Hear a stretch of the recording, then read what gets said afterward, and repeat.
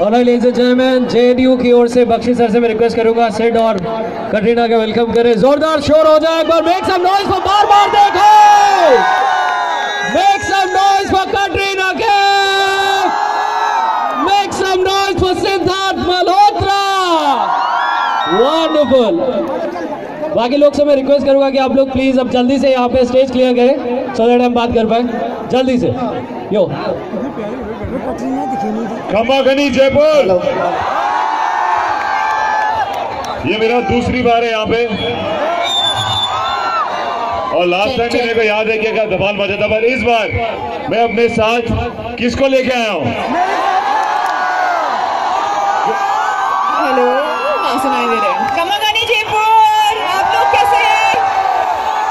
सब लोग? अच्छा एक बार बताओ कटरीना को देख के आपका मन करता है कि इसे बार बार बार बार और बॉयज़ और 9 सितंबर को। 9 सितंबर आप लोग आप लोग कहाँ जाएँगे?